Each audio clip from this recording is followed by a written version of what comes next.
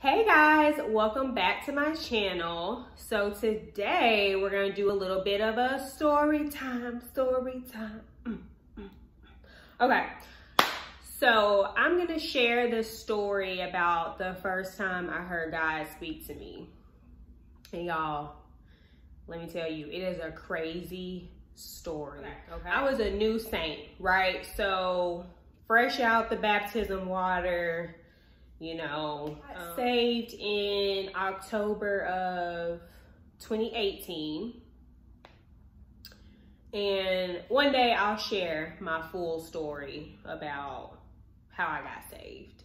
But basically, after I got saved, right, like, you know, you, you brand new, you baby, you know, baby follower of Christ, and you are just like super excited, right? Like I was not experiencing any trials, yet. Um, wasn't really experiencing any temptation yet. I'm just like so excited to be following Jesus. I want to know everything there is to know about God.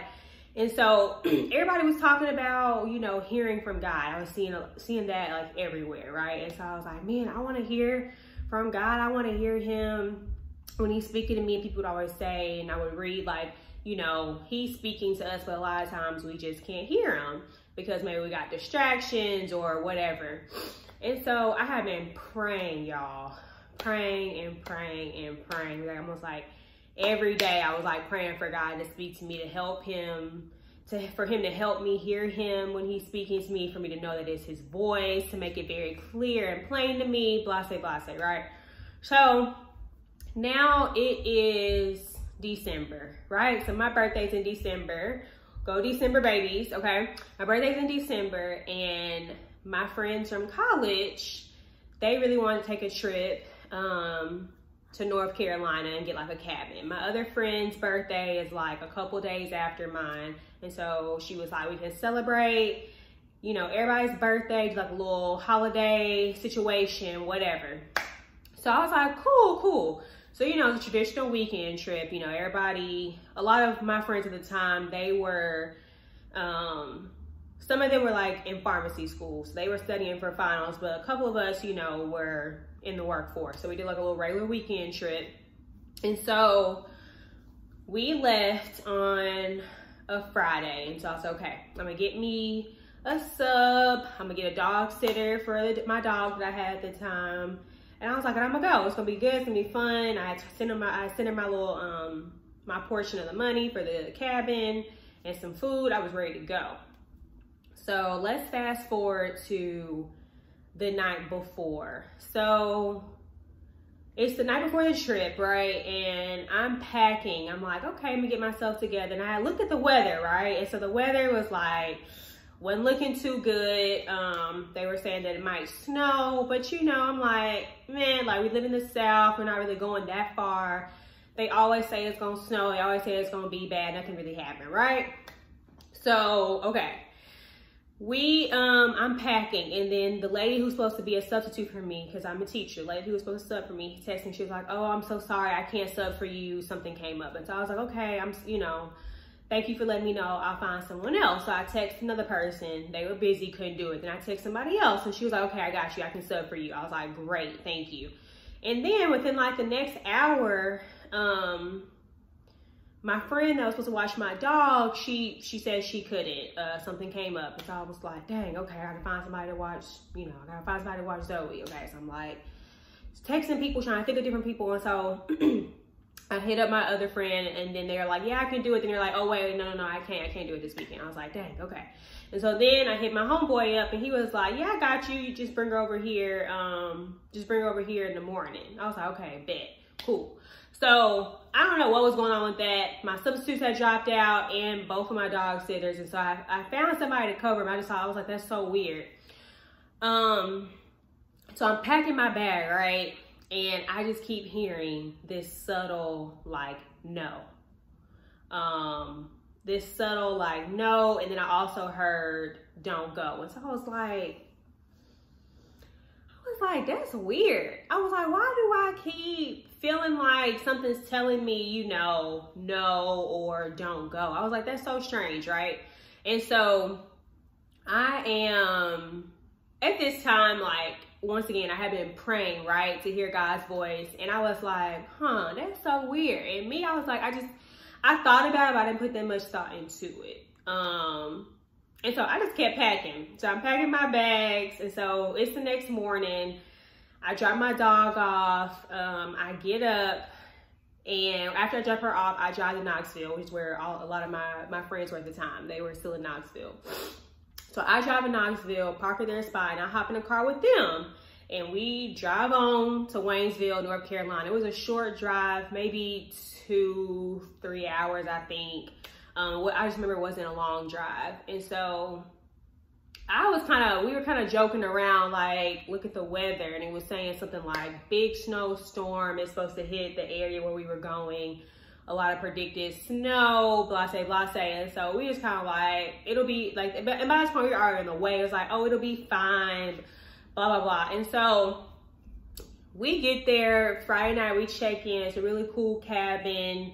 Um, we cook us some food. We having a good time. We're dancing, playing music. We, you know, doing a little karaoke, playing games. We're having a good time, right? And so we go to sleep Friday night. And the next morning we get up, we're just, you know, hanging out around the cabin, catching up. Some of my friends that were in pharmacy school, they had like, I guess finals coming up or maybe midterms, whatever. Well, I guess it was December, so I guess it would be finals. Anyway, they were studying for some big test, um, and they had a couple of them. And so some of them were studying, me and some, you know, some people were paying cards. It was about, it was a couple of us, less than 10, but more than five.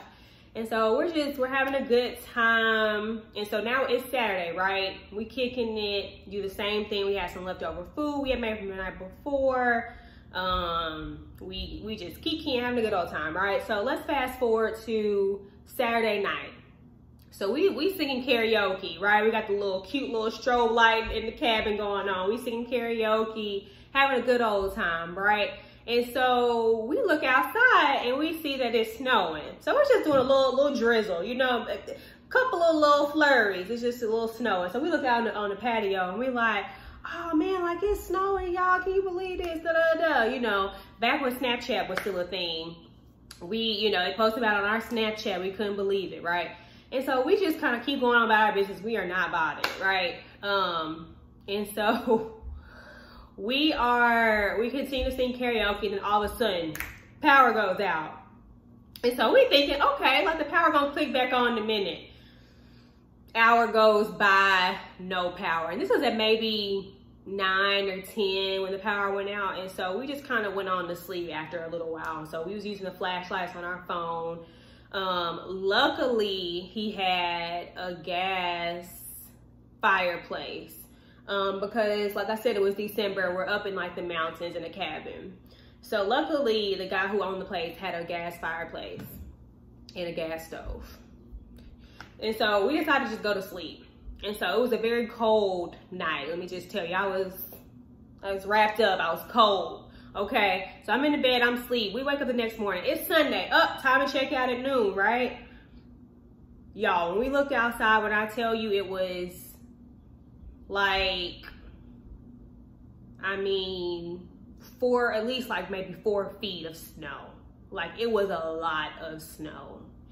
And so we're up in the mountains. And what's really interesting is so like we, I mean, you if you've been like to Gatlinburg in Tennessee, you know that it like it's real windy and curvy. And so we're in Waynesville, which is pretty similar. We didn't go far up the mountain, but we were up there. You know, we were situated around a lot of cabins. Um, and so, so we had kind of prepped the night prior, right? Because um, we knew we were gonna check out. So we threw away all of our food. We had made like this giant like spaghetti, cheesy, like pasta bake thing. We had some other food. Um, and we had just brought like a small case of water because we knew we were only gonna be staying for the weekend. It wasn't that many of us. And so there, the, the men are outside trying to get the cars out the driveway. Now, what's interesting is, right, so we went up this hill, but the way that the cabin sat, it was like off kind of like the side of the mountain. And so his driveway was like a hill, like a kind of like a little inclined hill. And so they the when we came in, we just took two two cars. So we had took like a big Infiniti, and then we had took like um, a Honda, a regular Honda sedan. And so they had bagged in on the way in. And so they were out there trying to use anything, a broom, using their hands. My guy who owns the cabin, he don't have a shovel. I mean, he had nothing. Nothing for like, no, nothing for like a situation like what we were in, right? And so eventually the men are outside and then we try to go outside and join them. We looking at the weather. I mean, we, we, still don't have power. We've gone at this point, hours out power. We're still trying to use the gas fireplace to, you know, heat us up. And it's funny because when I look back, I'm like, that was a really crazy situation. But I was not really fazed um, I was like, it'll be fine. We'll get out. I wasn't really worried. Um, and so by now, let's just say it is, it's like midday. And so now everybody out there, we trying to, you know, and they steady like trying to put the truck in drive and like gas it. You know, you gotta really like hit that jump hard to get it out of the driveway. We can't get the truck out the driveway. So at this point, some of us some of us went around to like the other homes to see if they had power, to see, you know, what we should do about this. So some of them walked around. I didn't, I went to one house, but the the neighbors, they were like, well, this is a private like community. And so, you know, typically like they're not gonna come plow, they're not gonna come plow the street until a couple of days after it's passed if they've done the main roads and no, none of them really had power. I mean, they all lived, the, the neighbors like live there. Like this is like their regular schmegular house and they just live in the cabin. And they're a lot of old, like old people, honestly. And so one lady, like she gave us some food. Um, and she was, one of them I remember cause she was like, I don't know why the owner, she's like, he's a new owner. She's like, I, I don't know why he didn't tell y'all to park at the bottom of the hill you know, where a situation like this or when, cause it's like, we saw the weather and we knew it was probably gonna be bad. I'm like, sis, why you ain't come and tell us? Cause you know, we were just there for the, for the weekend. And so we're practically trapped on this, on top of this mountain or yeah, we practically trapped on top of the mountain because it's like, even if we got the cars out of the driveway, like it is, it was a real couple sharp turns on the way down. And I mean, you go off the side, you slide off the, uh, the side of it. I mean, you just, you just gone. And so that's why we were asking about a snowplow. And so my friends, one of some of the guys had heard of this little, they heard the small little snowplow around. So they kind of walked around some more and down the mountain a little bit and they found this guy. He took them to the gas station and that's where we got like some canned goods or what was left. We got some water and luckily, like I said earlier, the stove was gas. And so we were able to still like eat. So really we were trapped. Um, and by this point, um, I had hit my homegirl up because it was Sunday, right? And so I had told her what was going on, that I was like stuck in Waynesville, North Carolina. It's a really bad snowstorm. We didn't have power. We had limited resources. Um, and so she was at church and she was, they were getting ready to kind of worship and pray. It was a group of them before service got started and she kind of explained my situation and so they were praying for us and she said that one of the members had said and i'm paraphrasing it was something along the lines of just kind of like the word that they heard from god was just kind of peace be still and that you'll know you know if you don't feel peace about the situation or about decisions then like you know that like it's not a like that it's not from god and that like just she was like just kind of like hold still pretty much um, and so what was really interesting about that, right? She had told me that maybe midday. And so like later on that day, the guys with a snowplow, it was a, it was a, it was a smaller snowplow. Um, it wasn't like the big trucks that we see, you know, on the main roads, wherever you are when you, when it snows. It was kind of a smaller one. And so he was like, well, you know, if y'all pay me this much, I can pull you out a drive. I can pull you out. And so a lot of us were not really feeling comfortable. It was like maybe two or three of us that were like, okay, like, like, let's do it. But most of us were kind of like really feeling uneasy about it, myself included, right? Because it's like, okay, you pull us out of this driveway, but it's like, how are we gonna get down this hill? I mean, it's very icy, it's sludgy, you know, the sun's getting ready to go down soon. We were just very, uh, very nervous about it. And then it was like, well, what is the rest of the roads, the highways look like? And so looking back, I'm like, that was probably God knowing that that option was to come up later. And who knows what would have happened. You know, I we decided not to go that route because a lot of us just didn't feel comfortable. Um, but who knows what would have happened if we would have just said, you know what, let's just try it. I mean, we could be off the side of the mountain. Who knows? Um, or, or in a worse situation, maybe we would have messed up one of the cars. Like we, I mean, we just, we don't know. And so we decided not to go that route. And so we just kind of pretty much settled in for the night. Um, and as before power went or kind of as power was going down i mean um as the sun was going down they started to like we had to figure out we going to eat for dinner right? So let's just say it was a group of eight of us and so we didn't have much food. We didn't really have a lot of water. We had to figure out how we were gonna we basically was rationing food. I'm just being 100 percent. We was rationing food okay? Um because it was a lot of us and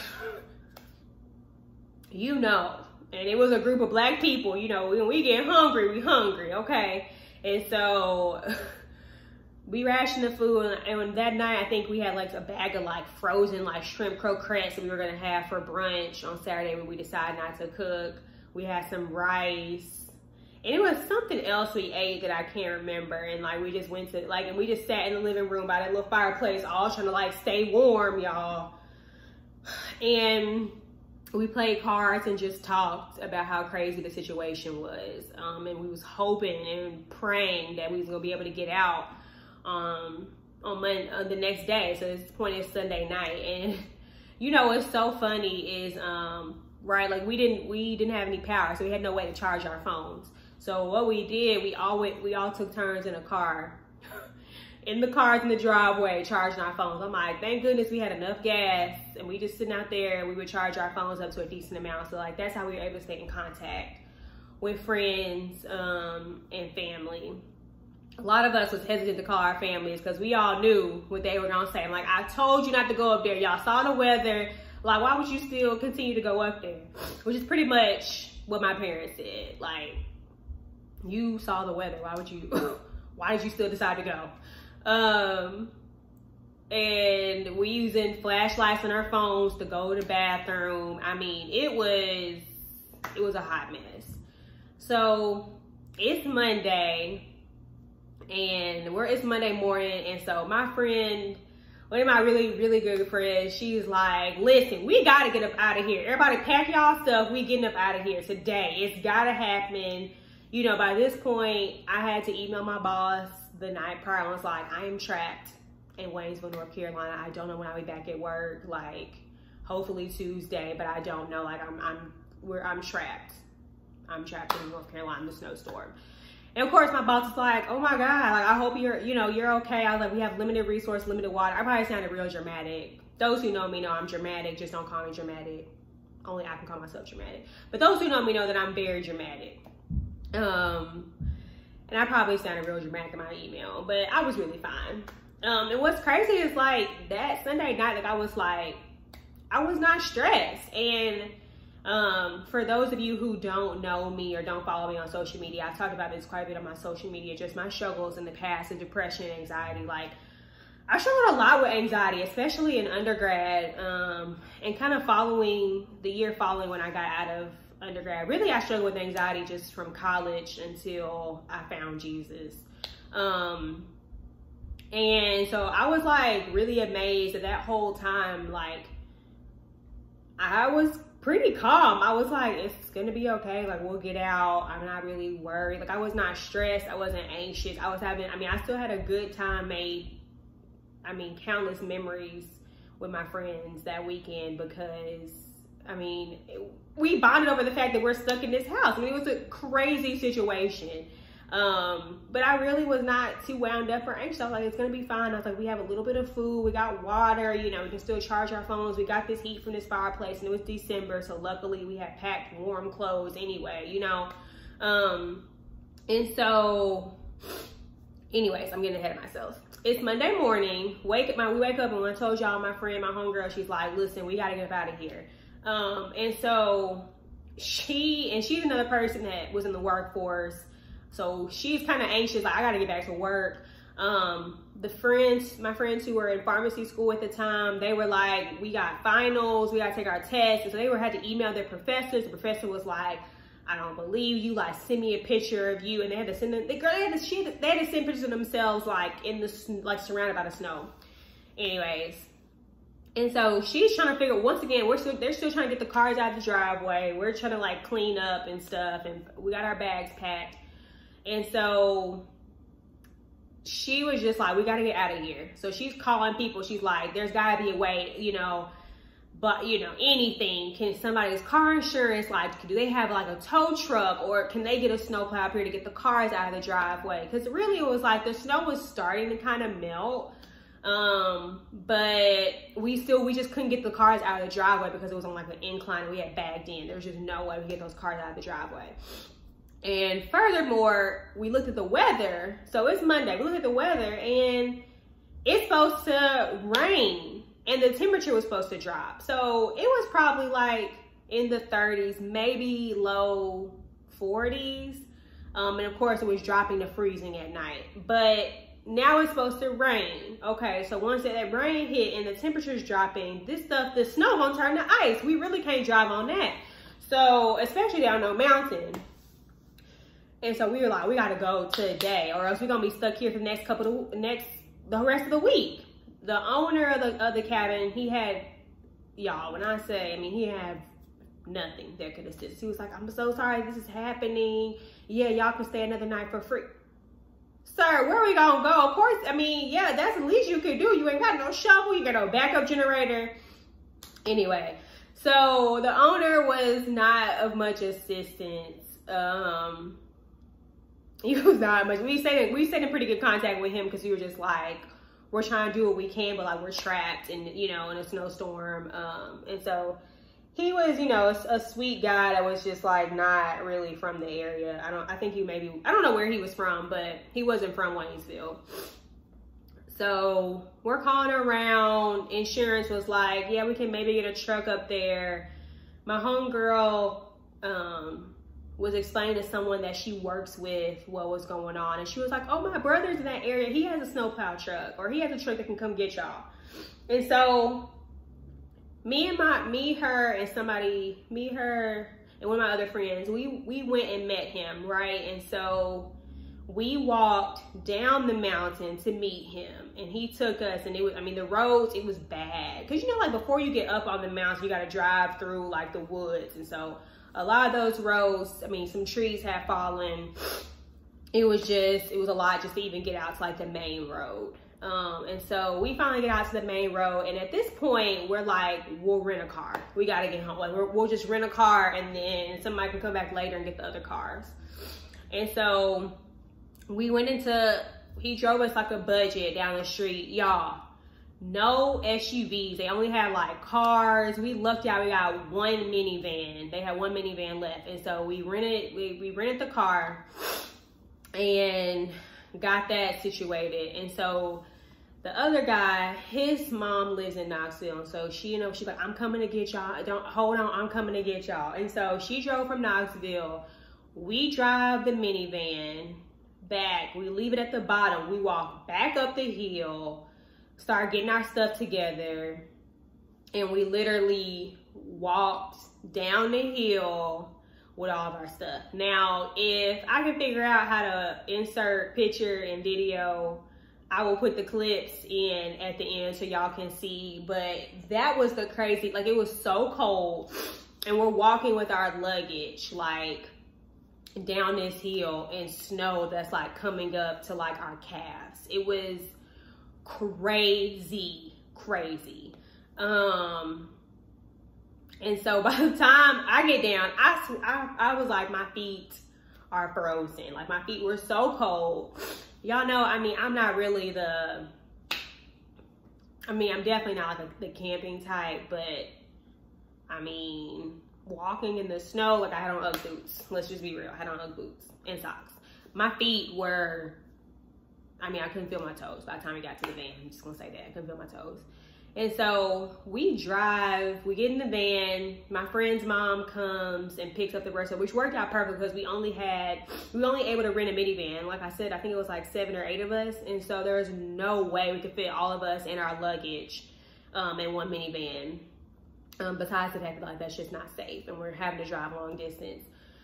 So she came and got the rest of them. A couple of them hopped in the car with her. Thankfully, she had snacks and water. I mean, we were thirsty, we were hungry we drive back to Knoxville and luckily on our way out the traffic was pretty pretty decent. We got back at a decent time. I hopped in the car that night. We got back at like 7 or 8 p.m to knoxville and i drove back on to nashville and i was like whoo jesus.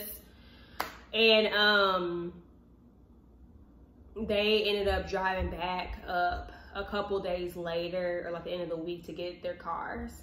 Um, but y'all, I mean, that was just the craziest experience. And I was like, Lord, when I finally got back home and I could like spend some time with God and pray, I was like, Lord, okay, like that was you. I know that was your voice when you were telling me the night before not to go.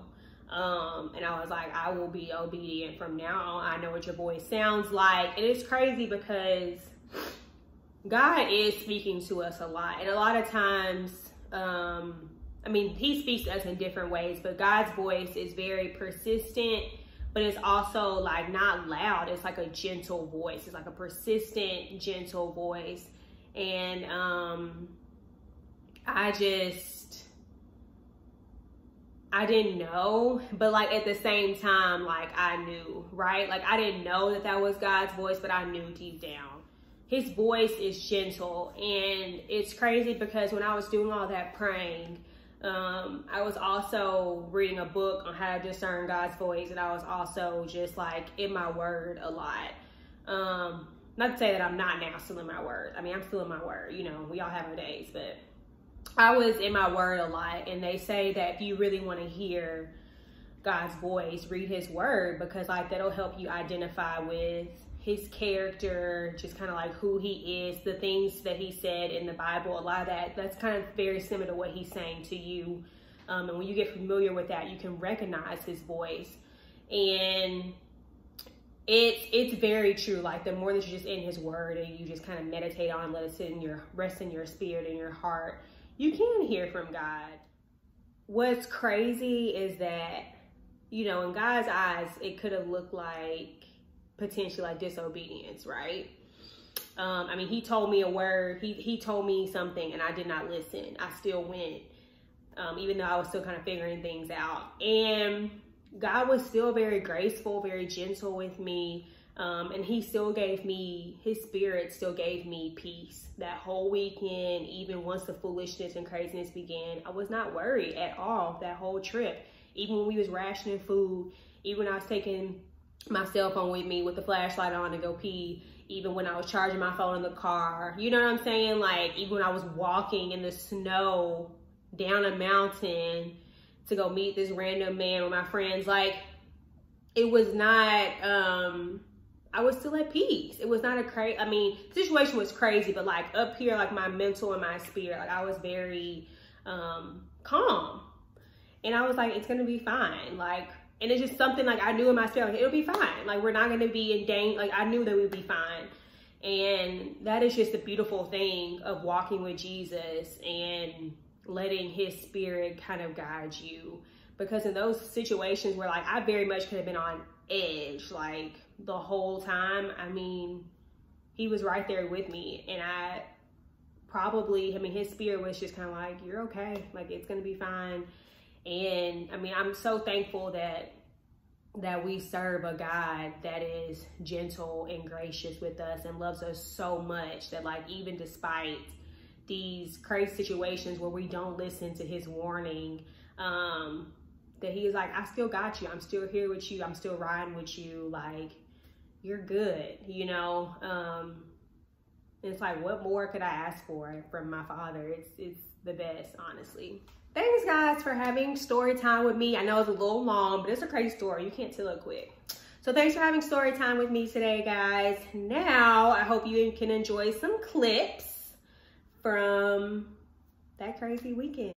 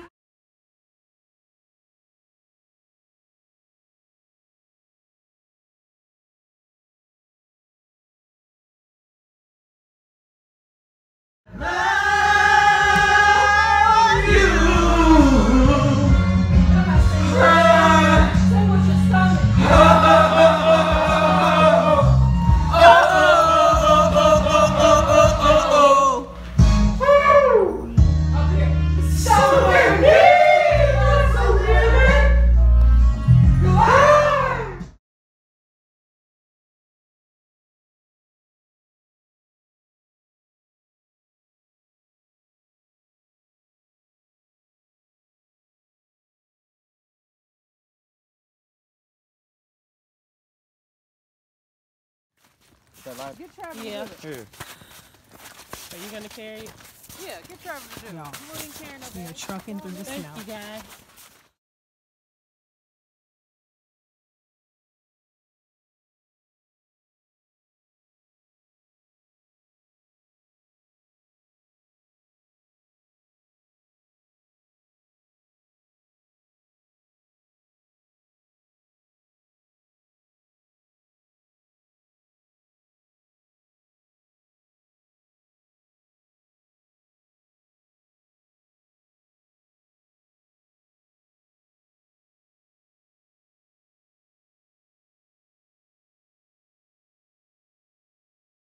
Hey guys, thanks for watching. Don't forget to hit the subscribe button, the little notification bell so you can know when I post, and like this video. See y'all again soon.